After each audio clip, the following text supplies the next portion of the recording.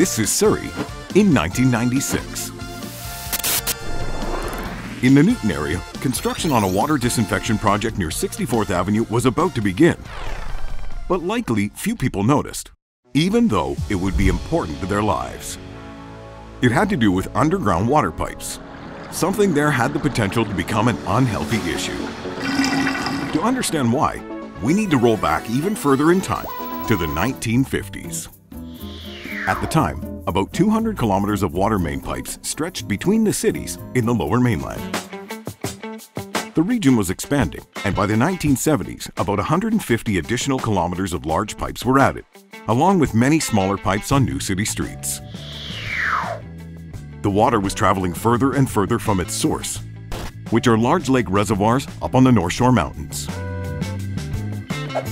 Equipment and staff were brought in to track the water's travels through the increasingly complex web of pipes. And to move water through flat and uphill areas where gravity no longer does the job, pump stations were built. The 1970s also saw several new in-system reservoirs added to help ensure daily water supply was available for each local area. All this was being handled by the Greater Vancouver Water District. But outside forces would soon bring an entirely new aspect to the water system. Once again, let's roll back. There were no guiding regulations during the water district's early decades, so the water was simply screened, then sent through pipes to homes as is. But scientific knowledge about bacteria was improving, and in the 1940s, chlorine started being added as it left the three mountain reservoirs. Some folks didn't like that idea, Many residents were proud of their water's good taste, clarity, and lack of odor, and had difficulty understanding that disinfection could improve the water even more. By the 1980s, biological knowledge about water had expanded even further. Regional members and health authorities were asking, since chlorine's effect diminishes over time, would it still be effective as it slowly traveled way over here, and here, and here?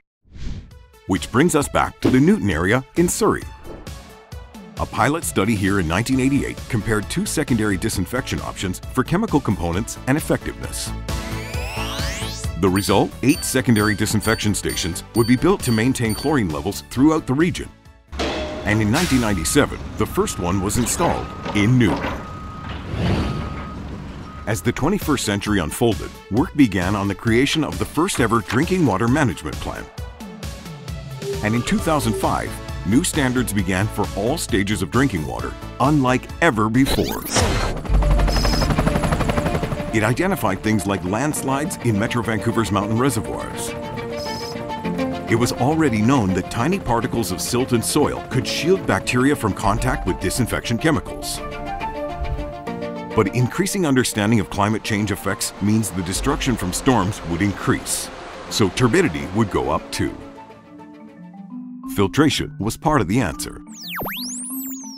Through the early 2000s, a massive filtration plant was built at the Seymour watershed, along with twin 7-kilometer tunnels that carried water from the Capilano Reservoir for filtration and back again. The third source reservoir, Coquitlam, got an innovative disinfection and corrosion control facility in 2000, and another that uses ultraviolet light in 2014. Operations protocols have evolved too.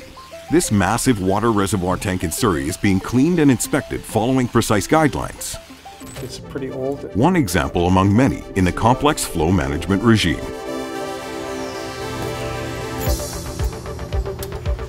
A return to the Newton Station in 2025 shows the careful work of disinfection and monitoring carries on.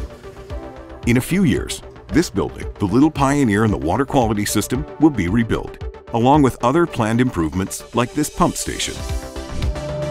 Every year, the 520 kilometer system is being improved with larger pipes, new technology, and engineering advances that withstand earthquakes better.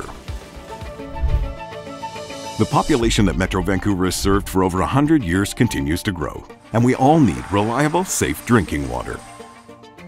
Guided by our modern scientific understanding of Metro Vancouver's unique water chemistry, this is what Metro Vancouver delivers.